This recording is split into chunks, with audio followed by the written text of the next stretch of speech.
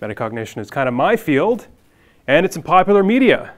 So this is some crime show where they talk about metacognition. It's getting out there, just so you know, this is not some obscure academic thing. Metacognition is like um, your awareness of your ability to think. Yeah, just stopped in to whip up a metacognition scanner. So when something has pierced Rick and Morty, it's uh, yeah, it's it's getting big. So metacognition, the ability to direct your own mind, to be aware of it. If you're aware of something you naturally find interesting, if you're aware that you're a little tired today, or you, you have a lot of energy today because you just had a double mocha latte, whatever, um, and you're expressing it, then using meta knowledge, you're saying, I feel really buzzed from my caffeine. You're noticing some mental state. If you feel I feel tired, you're noticing a mental state. You're just aware of a mental state. And if you're expressing it, then we can use very highfalutin academic language to say you are meta representing. You're representing your own mental states. And we talked about this earlier the idea of meta knowledge representing um, a cognitive state. People throughout history have sort of just been going about the cognitive processes implicitly, thinking without knowing they're thinking. Human intelligence, going back to the earliest primates, have just been intelligent and semi intelligent beings going about the processes without really knowing what their intelligence is doing. And so now we're able to do what we're doing now. We're able to be one of the first generations able to think about their own thinking, represent their own cognition, not be a, a half asleep intelligence.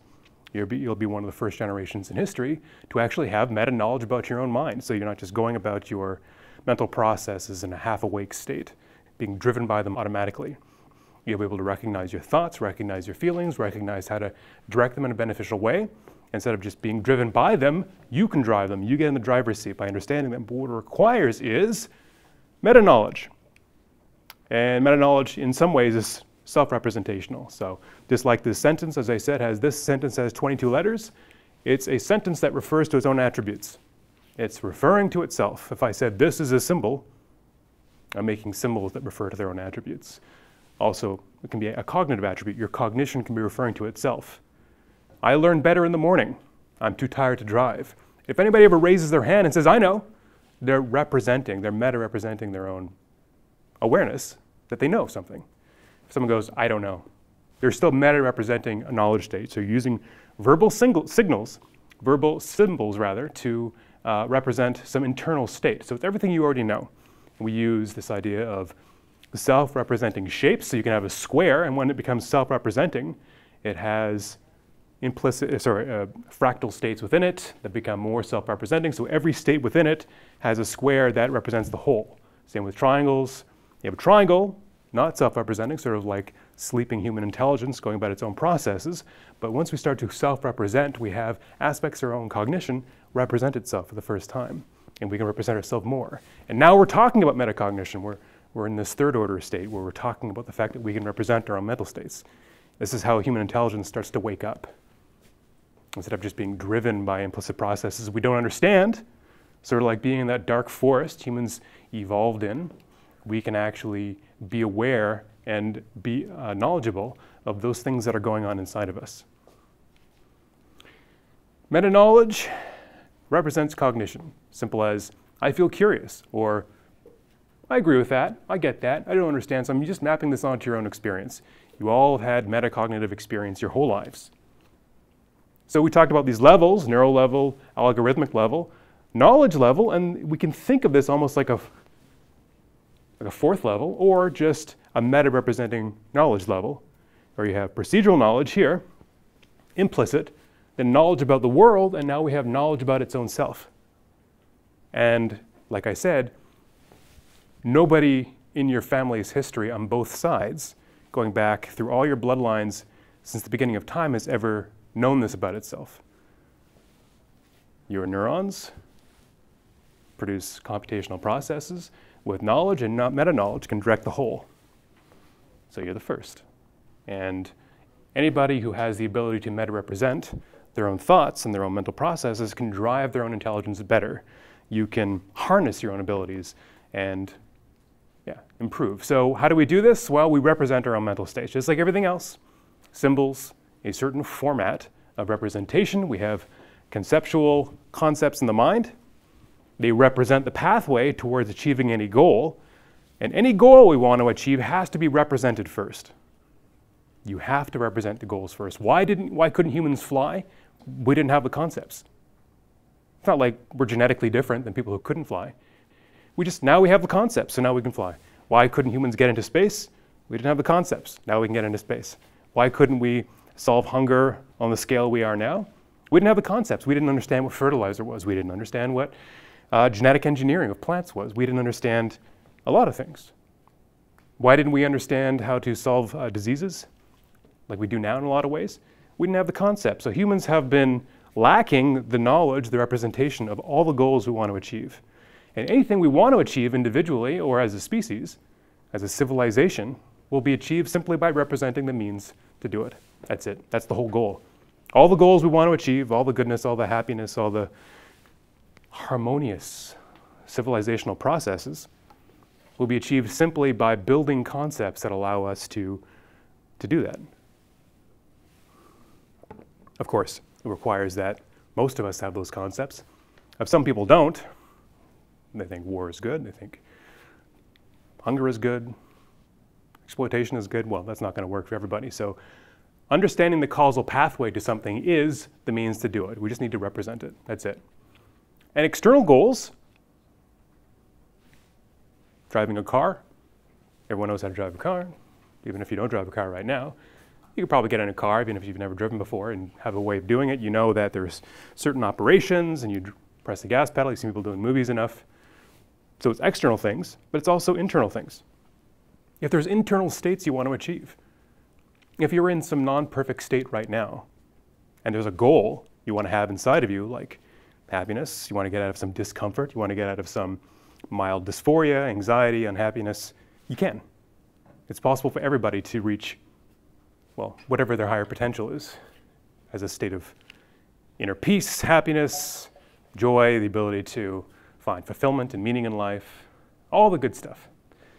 Also requires that we represent how to do it. I mean, a baby in the woods doesn't have the concepts to achieve any external goals, will perish pretty quickly. Doesn't have the state to achieve any internal goals, will perish pretty quickly.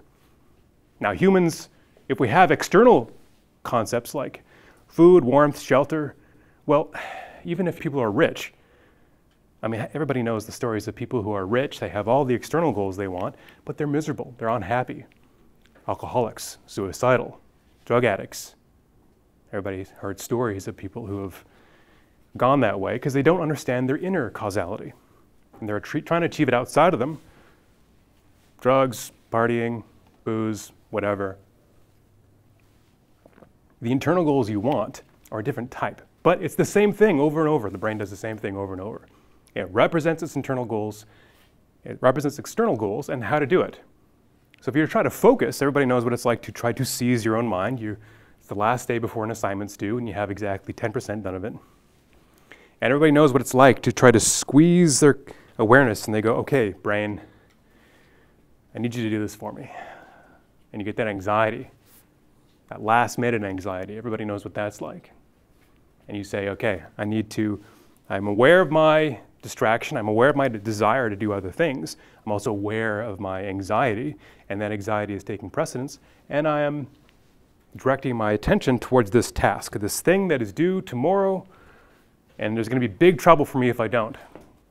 And that anxiety allows you to direct your own internal focus. So I'm just mapping this onto your own internal experience. Focusing, directing your own mental states. That's how we get all the good stuff. So it's a little hot in here.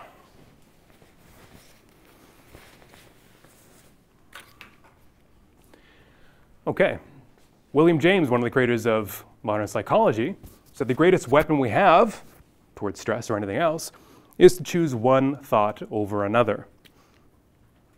Just choose one thought over another. It's not entirely that simple, but everybody knows what it's like to see laughing, happy children. Children aren't born depressed. you become that way. Even if you, your people are happy when they're 10 or 20. When they're 30, they can be, or 40 or 50, they can be unhappy. Everybody knows miserable older people who have just disintegrated mentally over time and they're just angry and you just don't even want to go around them. They didn't start off that way. They became that way over time by negative thoughts starting to feed in on themselves until they just started to become this black hole collapsing in on itself. This could happen to all of us. So choosing our own mental states is how you get to those mental states. You have to choose it, you have to understand the right path, the right causality. It's hard, but what other option is there? Nobody wants to be one of those miserable, grumpy adults. I mean, everybody knows miserable, grumpy, famous people who are rich. Your happiness is what matters the most. Happiness of all. And so metacognition is crucial towards achieving that. There is an art to directing your own mental states. There is an art to building your own soul, if you want to put it that way. But I try to clarify this is just a fancy way of explaining something we all do a hundred times a day. Babies do it, children do it, teenagers do it, 20 year olds, everybody does it all the time. The first thing you are aware of in the morning when you open your eyes is I'm awake. I'm aware that I'm awake. The last thing you think at night probably is I'm sleepy, I need to go to sleep, I need to direct a mental state, I'm aware of a mental state, I need a coffee to change my mental state, I need a drink to change my mental state. Maybe you need food, I got low blood sugar, I need to improve my mood, change a mental state. Everything you're doing is trying to change a mental state. Focusing your attention, controlling your emotion. Everyone knows what it's like to be at, sitting at, at a dinner table with your family and you're trying to pretend you're happy trying to pretend. Don't go fight with your brothers or sisters. Don't show your parents you're irritated for some reason. You're aware of some emotion and you're trying to direct it because you're aware that it's better off in the long run if you just kind of pretend everything's okay. Everybody knows what it's like. Or you're stressed from school. How was school? Yeah, it's fine. You don't want to talk about it, so just saying fine is the easiest way to, to just to move on. But we're all grappling with our own mental states. If you're rubbing your eyes and tired, you're aware of your own mental state. Or if you're distracted. So recognizing and controlling mental states is pretty much the whole game in life. You can achieve anything if you can do that. So metacognition is big fancy word for the higher processes that involve the awareness and control of our own mind. Focus, emotion, memory. It's often called thinking about thinking. Not quite. I mean, you're all conscious of your own consciousness now. You're aware of your own awareness. And when I tell you to be aware of your own awareness, it suddenly pops into a slightly more vividness, doesn't it? It's called meta awareness. You're aware of your awareness, and you can be aware that you're aware that you're aware. Meta awareness. Now it's super lucid right now, isn't it? This is all things we all share as human beings. So it's not exactly thinking about thinking. So that's symbolic. Thinking is usually symbolic processes. So it usually involves just your mind directing its own processes explicitly or implicitly. So you can direct your own feelings, your own perceptions. If you're aware that the stick half in and half out of water is just an illusion, then you're aware that your perception is false. That's also metacognition. So the higher order abilities that humans have come from thinking about thinking. So there's been decades worth of research. They think people think that it's some other form of cognition. It's not. Babies do it, animals do it, primates do it, dolphins do it. Don't believe me? So you can give math tests to monkeys and dolphins. And I'm going to give you a treat if you get this math test. It's like simple, like 2 plus 3. And they know they're going to get a fish if they get it right. So you show them a math test, and they get really excited if they know it. They know they're going to get that fish. They know they know. And a monkey will get really excited if he knows he knows something because he's going to get the treat.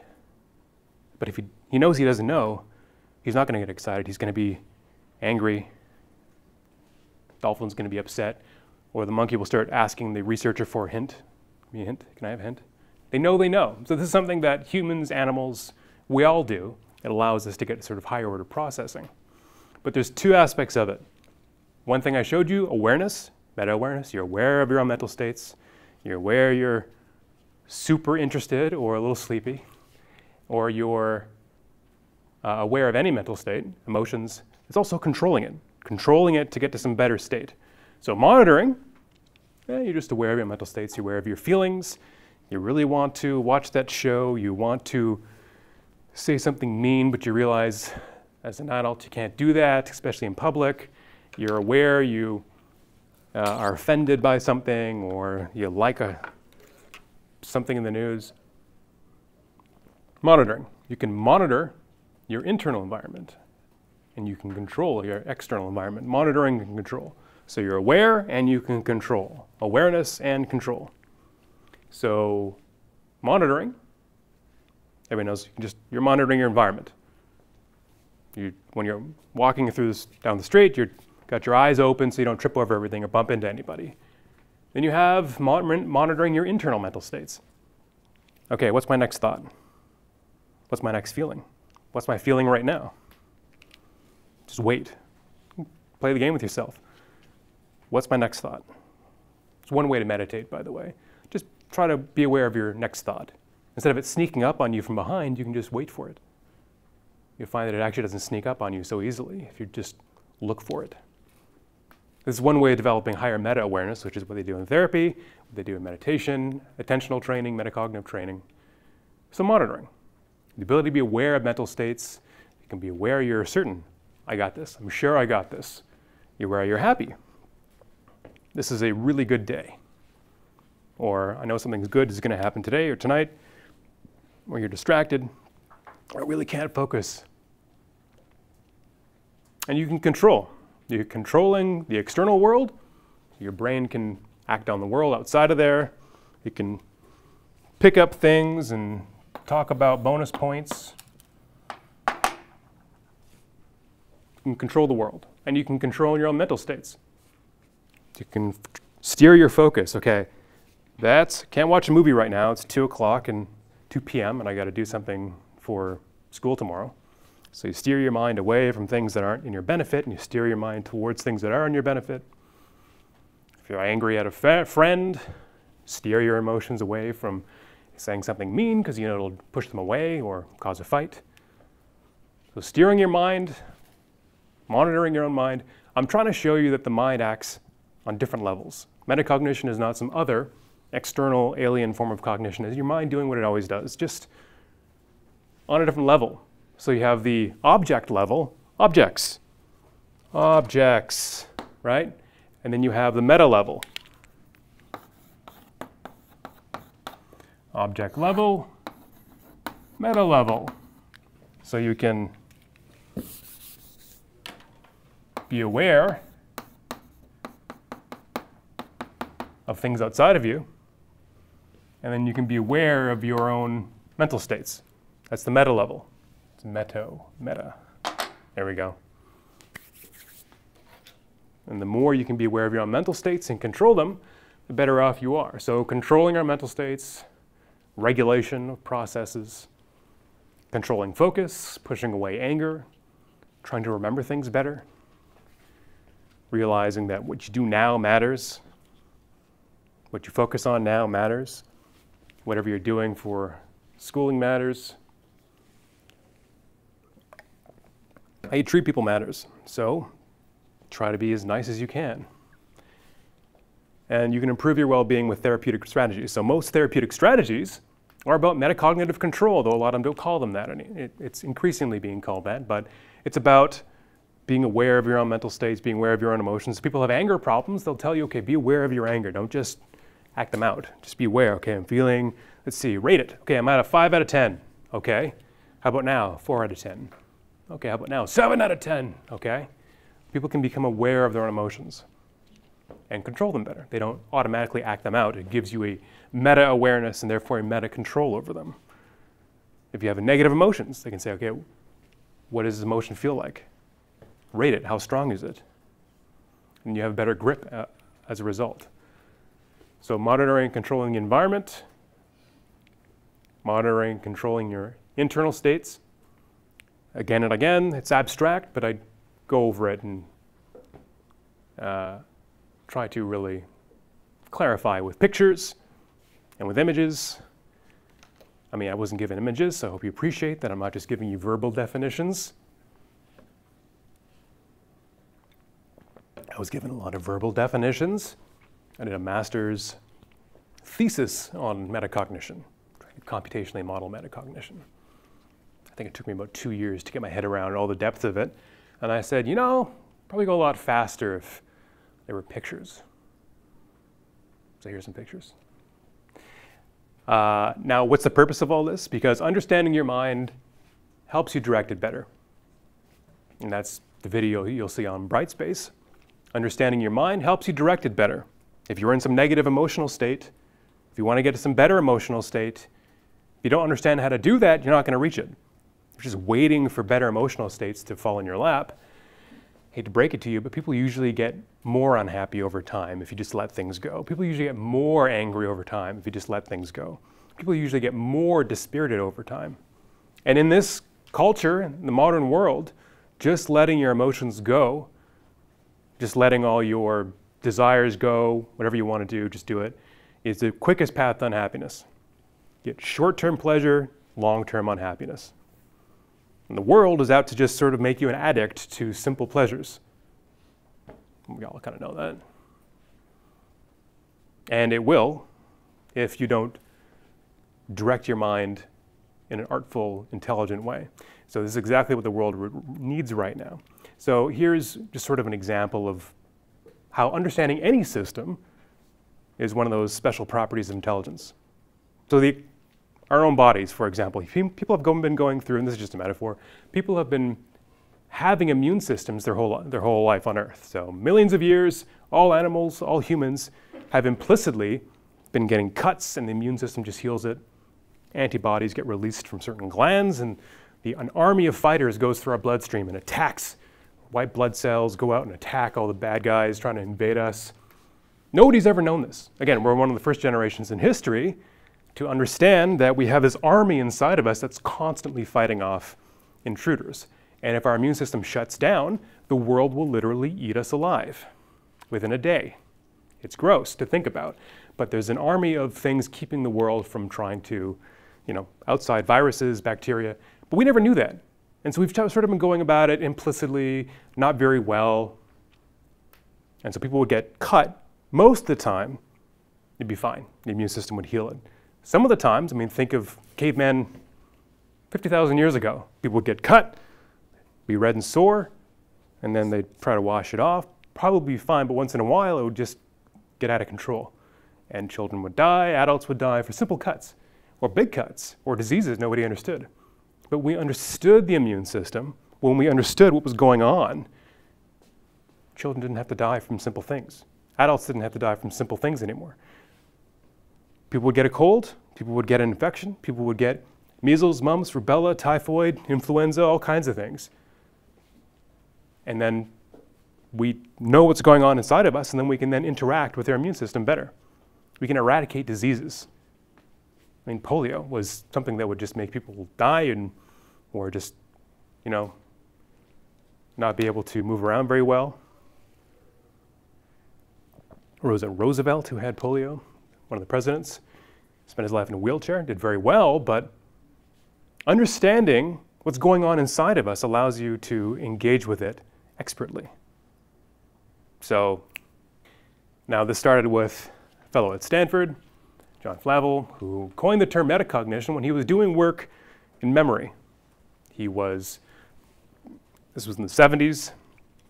You see a picture of him. He has beautiful olive 70s suit, 70s fabric, but he was doing work in meta memory. And he was noticing, just doing work in memory, that people can actually be aware of their own memory. Well, how, how is that? I mean, you know if you know something before the knowledge even reaches you. So you have a feeling that you know something before you even have the concept of what you're trying to retrieve. So you can have things in your declarative memory down deep. So, for example, we all know what this is like the tip of the tongue phenomena. You know, the like where you're like, who's that actor in that movie? Who's the lead female actress in Titanic? I know, I got a feeling that I know, and this is what Flavell realized, people would have this feeling and they'd be tormented by this feeling.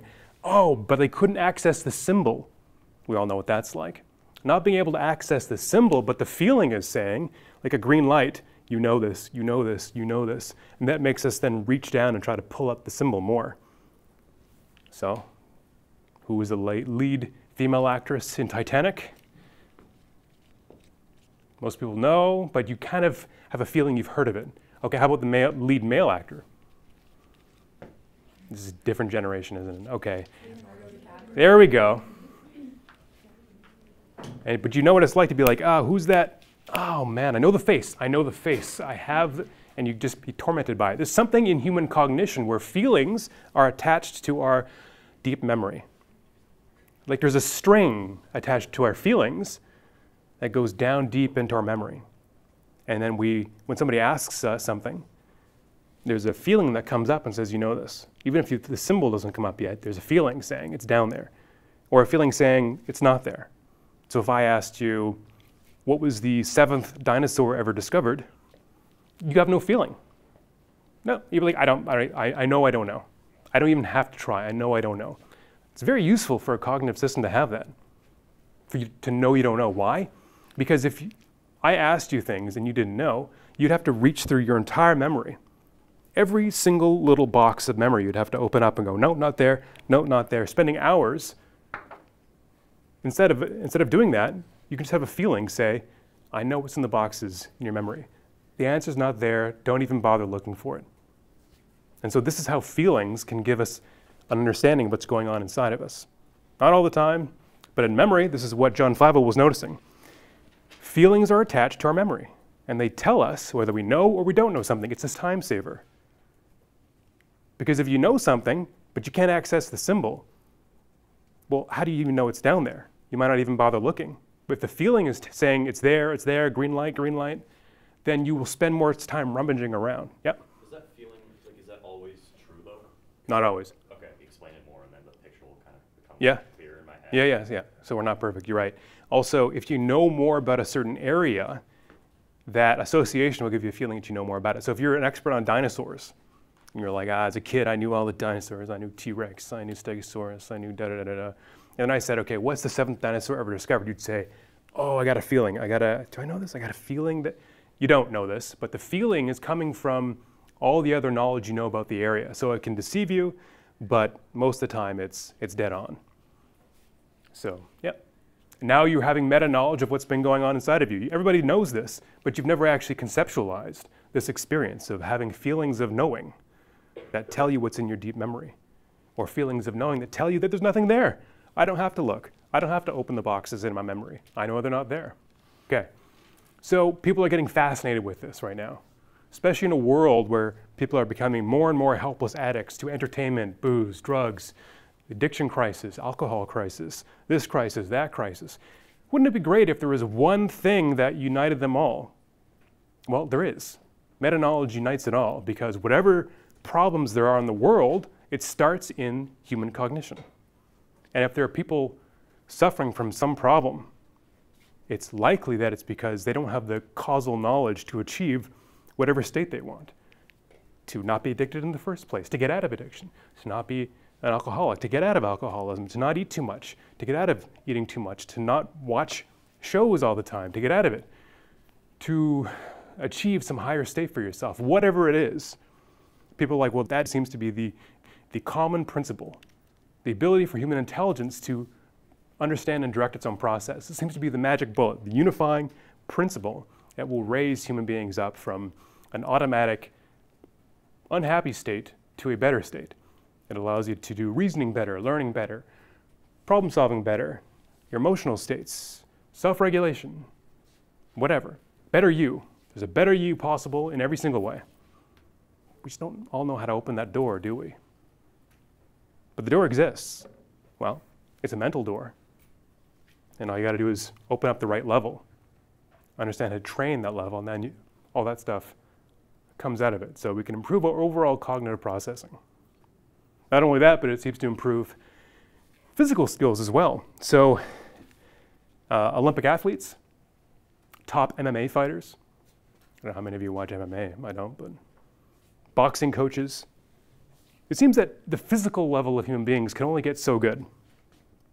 And they meet and they box, or Olympic athletes compete against each other for gold medals. And it seems that the final ability to get that gold medal or to win physical things seems to come from people, what coaches call getting your mind right. You got to get your mind in the game. You got to get your head in the boxing match. You got to get your head straight, get your mind right.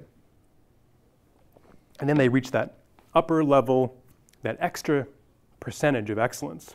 And their physical ability is fully realized by them metacognitively being able to direct their own mental states in a way that releases their actual, their, their greater physical ability as well. So there's a lot of metacognitive training going on in, in sports as well. Also, entrepreneurs. It seems that people who excel in business are the ones who are able to harness internal states, harness their internal motivation. They don't succumb to discouragement. They know what they don't know, and they can hire the right people to fill in that gap. They can uh, they, they know when they're overly excited about an idea that doesn't have a lot of evidence for it. They have courage for going and trying to, you know, risk all their money or their livelihood or go to that meeting with that very intimidating millionaire who they need venture capitalist funds from. So it seems that human abilities all over the board come from people who are just better at directing their own mental states. This is a universal principle of intelligence. Again, the, this class is about unifying ideas. There seems to be unifying ideas here. If you can understand any realm, you can control it better. If we understand our immune system, we can control it better. If we understand aerodynamics, now we can fly. If we understand space travel, now we can go into space. If we understand how to cure hunger, now we can cure hunger. If we understand cancer, then we can cure cancer. And we're slowly getting there. All the things we want to achieve come from just understanding that realm. And then we can reach into that realm and turn it in a way that benefits us. Same with our mental states. Humans have been in a black box, humans have been in a dark room since the beginning of our species. And we're just slowly starting to turn the lights on. There was our mental realm. Now we're starting to flick the lights on. Well, it's not a okay, it's not a switch, it's a dimmer switch, and we're slowly turning up the knob. So we're starting to illuminate principles, processes, the rooms of the mind, and we're able to then direct it better as a result. We don't have to be a slave to unhappiness, to depression, to anxiety. No matter how permanent it feels, you can release it and release it forever to a point where you even forget about it, looking through old diaries like, oh wow, I was a mess. Yep, you can. More than that, science is metacognitive. Now, what is science? It means directing thoughts according to certain principles. You know, we have feelings like, oh, my family told me this, the priests told me this, the gods, the oracle of Delphi, the people on Mount Olympus told me this. But science says, okay, yes, you feel those things. Tradition, culture, whatever says things, but you should base your thoughts on the, on the evidence there is to actually to ground them. So you should have beliefs to the extent there's evidence. And so science is about getting into a metacognitive state pushing your feelings aside and building up evidence for your ideas, making uh, experiments, saying, We don't know. I know I don't know. But if we have an experiment and we say we have a certain kind of medicine and we need to see if it works, well, okay, our culture has said it works. Everyone seems to be really jazzed up about this medicine. You need to separate that out. Now you're in a metacognitive space now. You put all that aside you say that actually is not a good evidence for whether something's true. So scientific thinking is about being artful, being deliberate, and being mindful of your own thinking. And so our greater abilities have come through history. You're wondering how did we go from mud huts to skyscrapers? How did we go from thinking pottery was a pretty neat trick to space stations? Well, humans started to think about thinking itself. Thought itself became the object of focus. Instead of just going about our processes implicitly, we started to think about our own thoughts and started to meta represent our own thoughts. And this allowed us to go about what's called the, the hallmark of the human species the ability for an intelligence to meta represent its own thoughts. And people have said that anywhere in the universe, maybe humans are not alone. Probably we're not. Most scientists say that it's statistically impossible that humans are not alone. Not only that, but it's probably, the galaxies are probably teeming like a petri dish with intelligent species. And anywhere there is species all over the universe, at some point, say this is the, just the, just the Milky Way, terrible Milky Way, but you get the idea. And we're here, and we're starting to meta represent. And at some point, there's going to be a species somewhere over here that's going to start to represent its own mental states. This species is going to destroy itself before it can. This one over here will start to meta-represent. But at some point, species anywhere in the universe will go about the same process. They'll start off sort of in the darkness, they'll represent the world around them, and then at some point they'll start to meta represent their own minds. They reach their meta stage. that's where we are. We're just starting to go about our species' metacognitive stage, where we don't just go about our processes implicitly, we start to do them explicitly. We reach that higher level. We break out of received tradition. We get out of negative patterns of thinking and feeling. We get out of needless violence based on ancient principles that haven't been questioned. And so we have a history of this culture came from this fellow who started to think about thinking, started to take a turn. He said, maybe the universe and all the, the wind and the rain and the ocean storms are not supernatural. And more than that, maybe our own thinking and knowledge of reality isn't supernatural. Maybe it's just us, alone in the universe. And either we understand reality or we don't, whether we learn to understand our own minds or we don't. And so this was how things got to be this way. This is all part of the, the narrative, where knowledge, human knowledge, started to represent itself, direct itself. Formal reasoning was metacognition, logic, epistemology, thinking about thinking. Now that's thinking about thinking. Symbols representing other symbols and directing symbols intelligently instead of just blindly going about its processes like a chain of dominoes.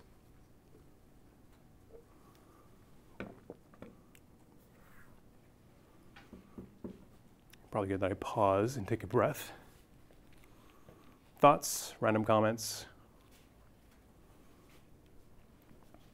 And so, if you're wondering how this story got started, how did humans go from pottery and wooden ships, things we can do without really understanding our own thinking, that's fine. People can realize mud can be put into a certain shape and then baked, and we can hold stuff in it. Neat. Uh, you can take wood and you can kind of tie it together, and you can get these floating things. Nice. What is the universe made out of? Is reality dependent on our minds? Is the world round or flat? Well, there are things we, there's a, there's a, there's a, a very low ceiling. That's why human beings didn't get beyond understanding very simple things about reality for hundreds of thousands of years. Object level thinking is a very low ceiling. You can only reach a certain amount of technology, a certain amount of thinking, a certain amount of social development. Once you reach the next stage, within 300 years, these guys had steam engines and they thought it was a scientific trick, but the first steam engine was in ancient Greece. They had tools for measuring, you know, barometric pressure, temperature. Um, they had principles of buoyancy. They, they started to unlock the principles of nature simply by thinking about thinking. And so we went from the object level, low ceiling, to the meta level where there was, there's no ceiling. The sky is the limit. The universe is the limit. And so what are some of those principles? Well, uh, they're hard. But one of those principles don't base your thoughts on emotions. They're not your friend. They're not, they, they're not hooked into reality. We all like to think that our feelings are especially hooked into reality, that they're a whisper from the cosmos. Mine are special. Everybody's feelings whisper to them as if they're special. Cosmically hooked in. They're not, sorry. It Kind of hurts, wipe a tear, and you go, okay, well, fine. We need to base our understanding of reality on thoughts, on symbols, on concepts that have evidence. Base our conclusions on that. Beware of logical fallacies. Test our theories. Just because we have a received idea doesn't mean it's true. Believe things to the extent there's evidence to believe them. These are tough. This is about intelligence representing its own processes and starting to go about the art of thinking. The art of being an intelligence that's intelligent about itself.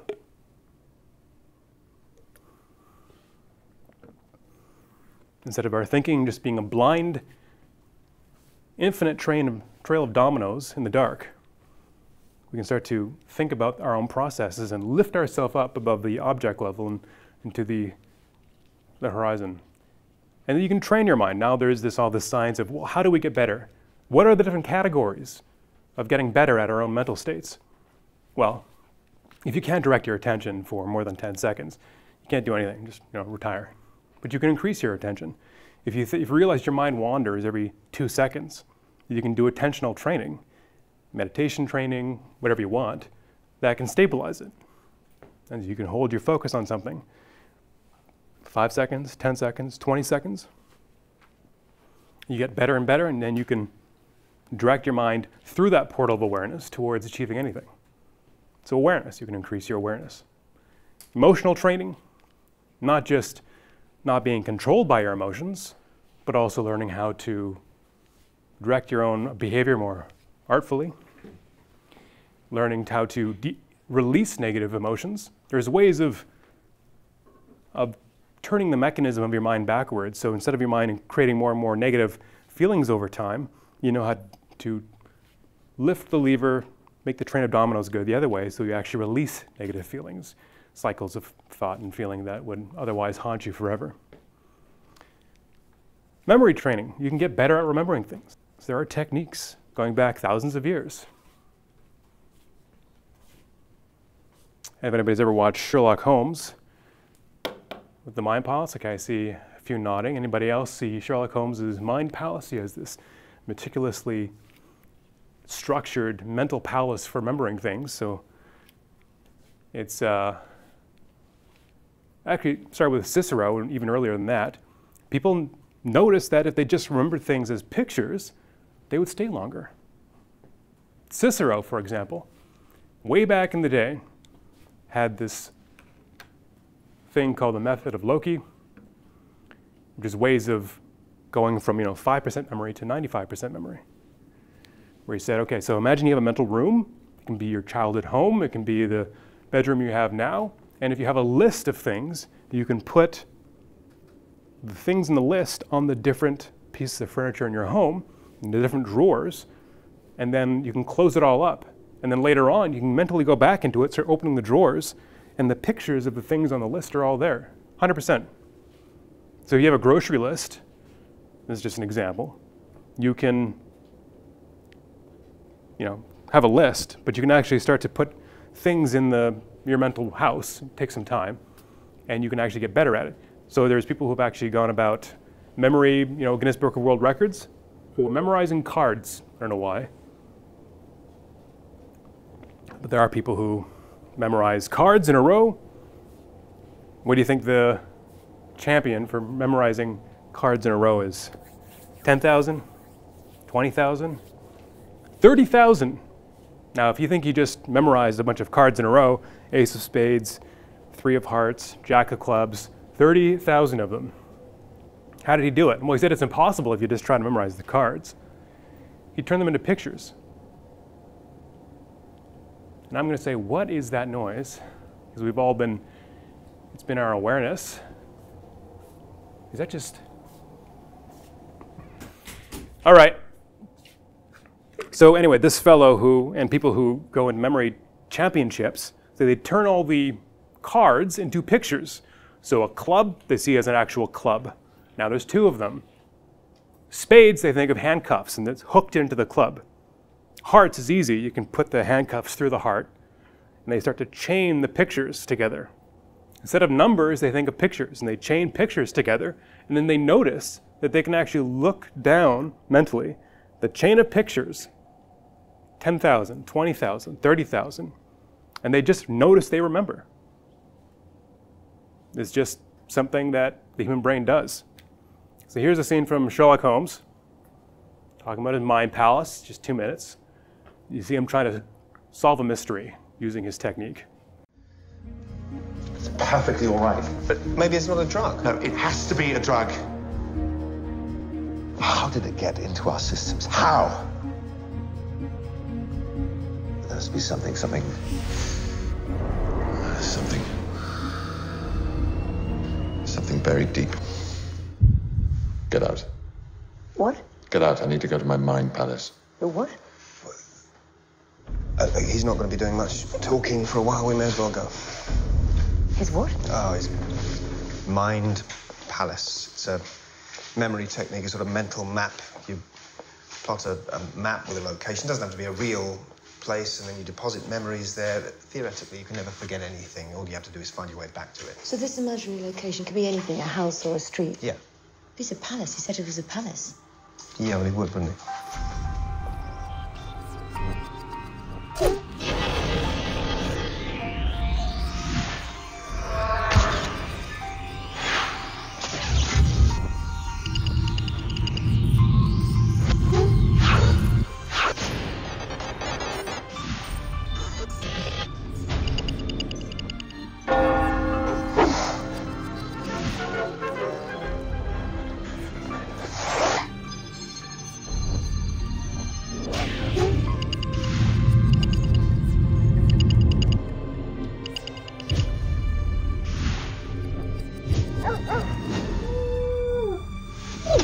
You want to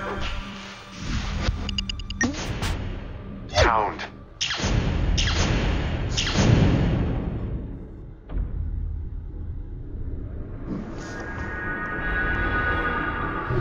So there are actually scientific papers on this to see if it actually works, and yeah, it works.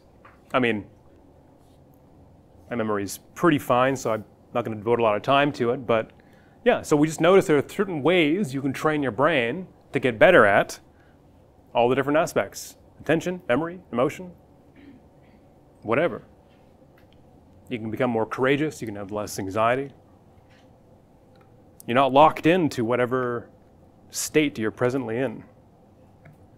And there's neural evidence for this. It seems that the people who have gone about meta memory training and then had their brain scanned, the world champions uh, have had their brain scanned. It seems that the world champions in memory, their, their training, what their secret is, says that it's not that they have better memory brains, like their hippocampus and all the different areas of the brain that engage in memory. They're not larger. They have these techniques, these strategies, these, these instructions for unlocking the brain's greater power. They've got a metacognitive key, and they're able to open up their memory's greater abilities as a result. So this is good neural evidence for that.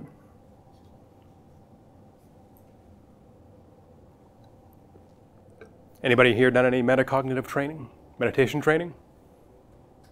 No meditation? Some meditation? Yes? What? Okay. Oh, mine was like I was really into mnemonics for a while, and so for like the memory, Right. the cards thing. Yeah. For like numbers, they don't actually do like that sort of thing. It's Right. common in like medicine to use it. Here's a question. Do you know how many cards somebody can memorize if they have no meta memory techniques? Um, Like nine? Like five? Like it's, it's a very low ceiling, right? Yeah, it's not that many. I think like probably between like ten and twenty. 20 would be great. So 20 versus 20,000. Yeah. So that's what I'm talking about. The brain has a very low ceiling for things it can do automatically on the object level. But on the meta level, you don't just double the power of the brain, not even just 10 times. You know that whole we use 10% of our brain thing? Well, that's not true. I mean, we use all our brain largely all the time, but we use 0.001% of our abilities, and we can unlock that with the right, the right training. And so people are saying in the future, education will be less facts, and people will just be trained how to direct their minds beneficially, and then they can point it towards anything. Gabby? Is there a limit to how neurons can fire and how fast you can actually do all Is there a limit to how fast your neurons can fire? Yeah, yeah. I mean, um, you, you get better at your brain firing in general because instead of a whole region firing, it gets condensed into small little regions after practice or proceduralizing. I'll talk about that later on. But these are called metacognitive skills. And uh, next week, we'll have a whole week on metacognitive skillfulness and how you go from symbols that direct your minds, meta instructions that direct your mind in some way, and whole regions of your brain have to be activated.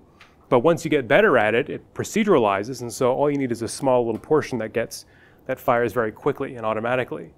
And so if you're directing your attention initially, if anybody's ever tried meditation, it takes your all your will and you're very not good at it.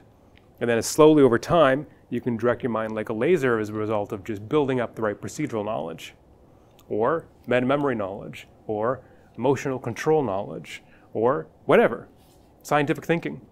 Sherlock Holmes is a fellow who started off thinking rationally as a boy, looking open books of logic, and he had so proceduralized logical thinking that he can just go into a crime scene and this, he sees and can logically deduce things that you know the police in the 1800s standing around are just kind of baffled.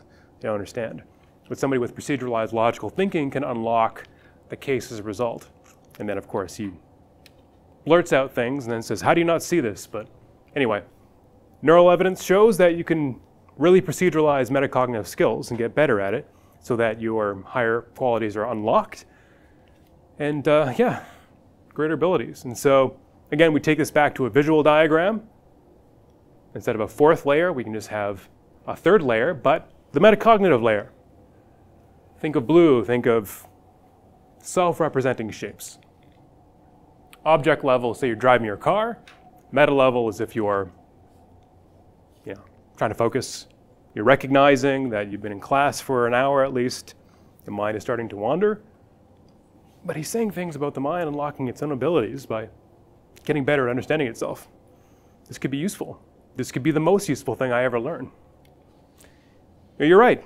So, meta knowledge allows cognition to direct itself, to wake up from sleeping, automatic, half awake processes. Everybody knows what it's like to be in a dream and only know you were in a dream after you woke up. Could you control the dream state? No, you were controlled by the dream state. And all the drama in the dream state was so convincing. Oh, so convincing. Then you wake up. It was never true. It was never necessary. A lot of the drama we have in our own lives, all the dysphoric emotions that can haunt people, are unnecessary. They're the result of automatic sleeping mental processes that hold us captive that there is a key to unlock. The right metacognitive training, you turn the key, you unlock negative emotions, takes time, but what's the other choice? In the future, children will be raised with this meta knowledge from birth, and they'll never get into these negative patterns of feeling in the first place. But right now, since we memorized all these useless facts our whole life, and what good were they, especially when we have the internet, um, they're saying that education needs to move towards people not memorizing facts, but learning how to direct their mind intelligently so they can direct it anywhere to become meta learners. So this is even the uh, college or no education ministry of Ontario has said this is the vital competency of the 21st century. Not memorizing things, that's how the old system was set up. Object level knowledge, hey kids, memorize all this object level knowledge that isn't useful, you're going to forget after the test. But it was set up in the 1800s and people didn't have a lot of books. So you had to go somewhere and memorize things because there was no other choice. Now we have phones in our pockets with the entirety of human knowledge.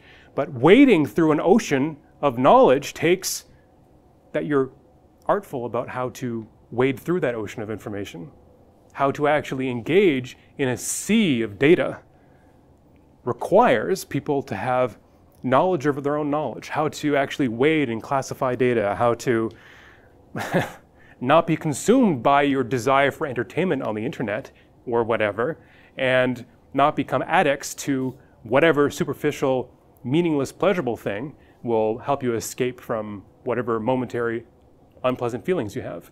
So that's pretty much the whole game. If you can metacognitively overcome your mind's entertainment, superficial pleasure seeking ability, you can achieve anything. And that's really what people need these days, since, I mean, that's why the modern world is being called an addiction creating machine. We need meta thinkers. Okay, well, don't worry about this. This is why you should come to class so you know what you don't have to study. This is just something I did during my master's. This was just a literature review of the different categories by which meta instructions can classify how to get better at whatever. So reasoning, you have science, logic, mathematical training, and physical. Even Navy SEALs now and people in martial arts are learning metacognitive training because they're better fighters, better. I mean, I don't particularly like that idea, but it just seems that wherever the human mind is, is active, you can unlock its greater abilities as a result. Cognitive behavior training, self regulation, meditation, mnemonic devices, and it works like everything else. It's not some, some, some other form of cognition. This used to be green. Object level knowledge, meta level knowledge, it's still a symbol. These are still symbols. My language didn't change it's a meta level different language. It moves into your working memory and it directs your production system, your procedural knowledge. So if you get better at directing your own awareness, better attentional knowledge, better procedural knowledge just fires automatically. But it's the same thing. It connects like Lego pieces. Meta knowledge moves into your working memory, it starts to build up procedural knowledge, then runs automatically. And that's how you get better at directing your own mind. But if you don't have meta knowledge, we're locked out of those greater abilities. We're locked out of scientific knowledge and all its benefits. We're locked out of all the medical knowledge. We're locked out of the ability to fly. We're locked out of the ability to even understand the, the earth is round. We're locked out of the ability to build anything higher than reed baskets and clay pottery. You're locked into your whatever pattern of thinking and feeling you don't want to stay in for the rest of your life. Without meta knowledge, your mind is trapped in some very low ceiling of society, civilization, technological progress, and your own mental states. We don't want to be trapped in that low ceiling forever. We want to have a sky's the limit. That's why talking about metacognition itself is so essential because everybody wants to be boundless, limitless, to reach that higher you that you have to hope is there. And it is. But it's not going to come about on its own. You have to try. You have to have the right type of knowledge and the right type of effort. Civilization itself doesn't build itself. Scientific knowledge doesn't build itself. Flying machines, the internet, communication satellites don't build themselves. It takes people putting meta knowledge into their working memory and thinking about thinking itself to build scientific devices and studies that create new technologies, better medicine, whatever we want. So that's the, that's the gold level. So in terms of this dual system process, you know, we have system one, just automatic dominoes just firing, procedural knowledge just automatically firing outside of our awareness. And you can have system two, you can have knowledge come up from working memory. And this can be in the form of facts or instructions, but comes into our working memory, that low ceiling of object level knowledge, but then engages with the rest of our system and then acts it out, driving a car, for example. But then you can have the, the higher level of metacognitive process, system three. In system three, you have meta knowledge arise in working memory. Work go into your working memory as a result, drives those processes that interact with your mind itself. So the right type of symbols, meta level symbols, symbols that refer to your own mental states, have the right key to unlock your mind's greater abilities. That's where we want to engage. So this type of knowledge, meta instruction, meta knowledge, whatever, is essential. It's everything. It's the whole game. Otherwise, we're going to live at the sleeping implicit level or moderate knowledge level, but we'll never get to the higher abilities and the higher states we want.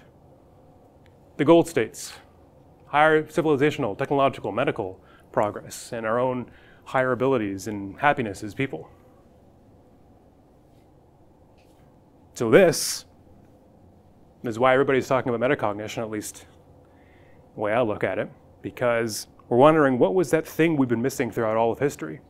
Well, when the mind can't represent itself, when it's in the darkness about itself, it doesn't know what it's missing. Humans didn't know throughout all of human history that we've been missing meta knowledge that represents our own minds. No idea. No idea. It's sort of like the Sierpinski triangle. There's a mathematical trick where fractal shapes just sort of arise out of the universe on their own.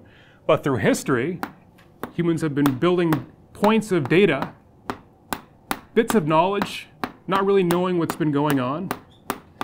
And over time, these points of data start to connect to build, well, it starts to build this emergent shape, this self-representing triangle, so to speak, where our mind starts to become aware of its own processes, and we think, oh, actually, now we realize what we've been missing our whole lives. Knowledge that represents its own processes, these self-representing conceptual ideas that we needed trillions and trillions and hundreds of thousands of years of, of uh, data collection, thinking about thinking, until we have this second order ability to think. And so here's some animations again, where you can understand, say you have object level knowledge, where you have, say, water, you, you're thirsty, knowledge comes up to object level knowledge, and the instruction says pour water in a cup. Okay, well, it interacts with procedural knowledge, and your motor activity starts to act out whatever the instructions are. So this is just object level instructions. Very simple. Knowledge comes into working memory, object level knowledge, and it directs your physical external abilities. So now your eyes close, you're at the meta level, you have metacognitive knowledge, so or a feeling state of feeling distracted. I have a feeling of distraction, and knowledge comes into your memory saying, working memory saying, I'm distracted. And then you can have the instruction acted out to focus as a result. This is just a simple ability to sort of recognize how working memory, you recognize when you're distracted, you have knowledge come up, and then you have the ability to focus as a result of meta knowledge. But this is why I, I saved cognitive therapy till two weeks from now, because I'm giving you the meta level first, and you see how all the actual therapy and all the cognitive psychology fits into this category, where humans are representing their own mental states and being able to then direct our deep down processes by self representing our own processes. And that's what these therapeutic instructions are that allow people to unlock feelings and anxiety and processes that would not otherwise unlock. So, metacognitive instructions are part of cognitive behavior therapy. Oh man, actually, I just realized the time. Let's, let's wait till later.